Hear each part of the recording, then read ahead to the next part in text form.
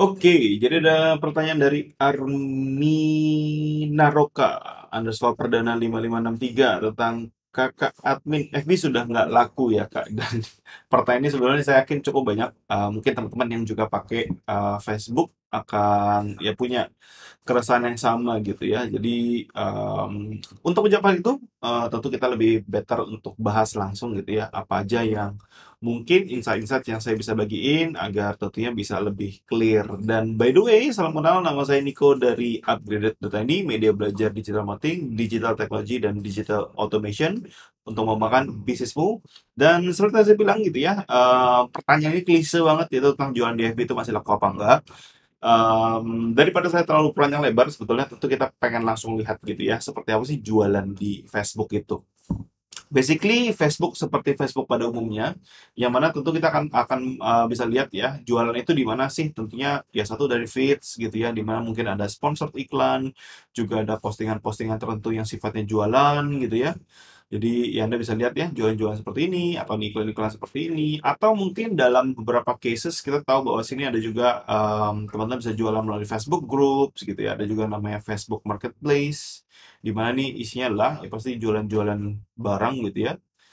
Di mana um, di sini ada sponsor tuh iklan ya. Ini iklan ini ada juga elektronik ada klasifikasi uh, produk di dalam sininya. Entah itu entertainment clothing misalnya kemudian juga ada pet supplies, uh, office supplies, dan banyak hal yang lain gitu ya. Jadi ada banyak sebetulnya uh, media.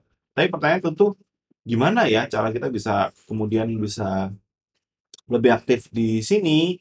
Most likely adalah tentu teman-teman tahu bahwa uh, untuk memahami hal itu ya, ya teman-teman tinggal perlu rajin untuk melisting barang gitu ya melalui Facebook Marketplace atau biasa disebut juga namanya FBMP.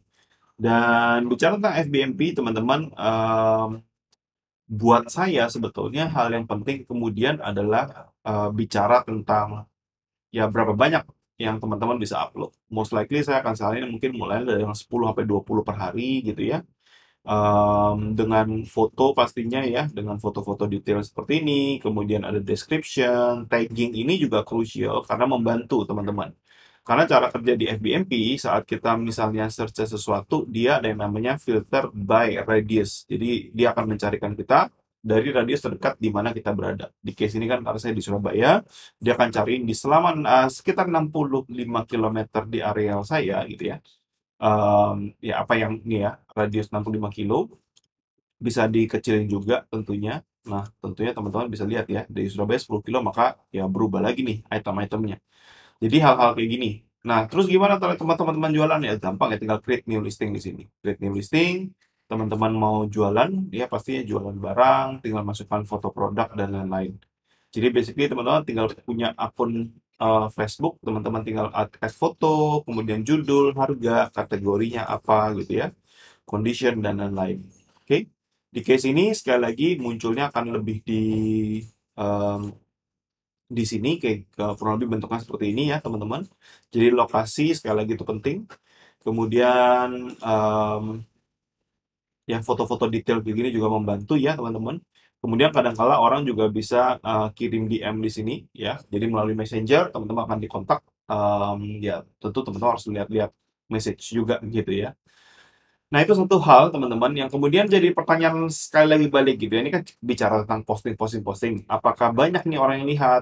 I, most likely di Indonesia masih banyak teman-teman pengguna Facebook gitu ya. Jadi berjualan di Facebook sangat-sangat masih uh, bagus gitu ya. Nah, sekarang kita pengen coba validasi juga biar teman-teman bisa paham nih apa yang saya maksud. Uh, kita akan lihat dari sudut pandang yang lain di mana ini kan kita bicara tentang sudut pandang gratisannya gitu ya. Selain dari teman-teman posting Facebook sendiri, teman-teman juga bisa um, posting di marketplace seperti itu. FBMP ya, Facebook Marketplace. Di sisi lain, teman-teman, saya mau kasih lihat teman-teman di sini hari tanggal 24 Januari gitu ya, di mana video ini kita rekam. Jadi basically ini real 24 Januari. Ya, 24 Januari. Kemudian teman-teman bisa lihat bahwa ini adalah iklan yang salah satu iklan yang mana iklan ini ada impression, ada reach gitu ya. Um, saya nggak tentu nggak bisa ngasih lihat teman-teman ini ya nama, ID, tentu saya cuma ngasih lihat contoh datanya aja teman-teman. Kemudian di sini kita bisa lihat berdasarkan placement teman-teman. Jadi kita melihat bahwa di sini dari beriklan dengan spend 800.000 teman-teman, itu menghasilkan penjualan real sekitar 2,7 juta. Oke. Kalau kita perhatikan memang beriklannya ada di Facebook dan juga di Instagram ya.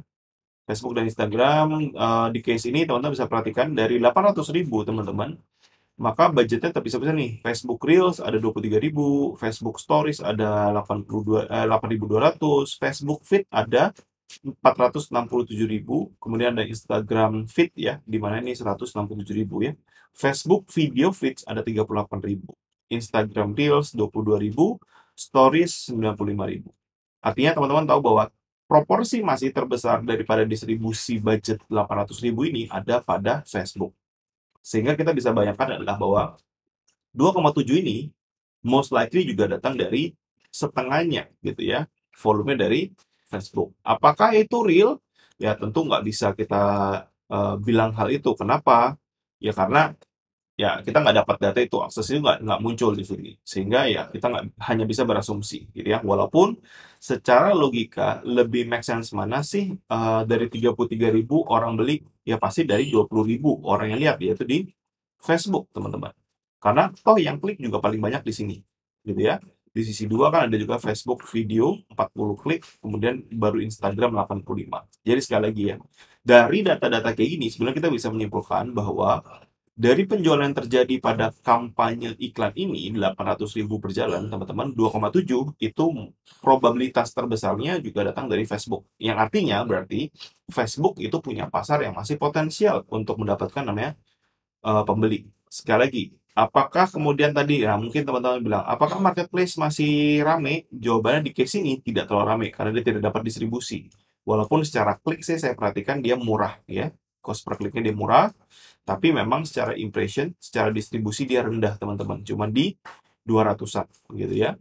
Jadi satu dua hal yang lainnya kita perlu juga tahu bahwa ya memang hal yang penting buat kita pahami apakah kemudian tadi Facebook masih bagus buat jualan buat saya masih sangat-sangat potensial sekali tapi tentunya teman-teman gitu ya jualan di FB tadi uh, teman-teman perlu memahami bahwa itu perlu pakai dua sudut pandang ya yang gratisan juga teman-teman teman pakai gitu ya yang media ber, beriklan, saran saya teman-teman juga manfaatkan. Kenapa?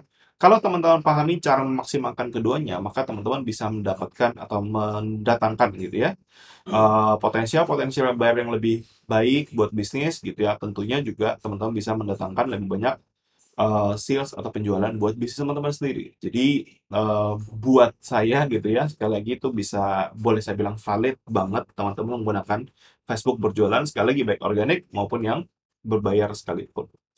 Semoga menjawab teman-teman. Jadi kalau teman-teman juga punya pertanyaan, feel free buat diskusi di kolom komentar. Saya akan sangat senang banget untuk diskusi dengan teman-teman di bawah. Dan jangan lupa juga untuk subscribe di channel ini untuk mendapatkan video-video terbaru dari kita.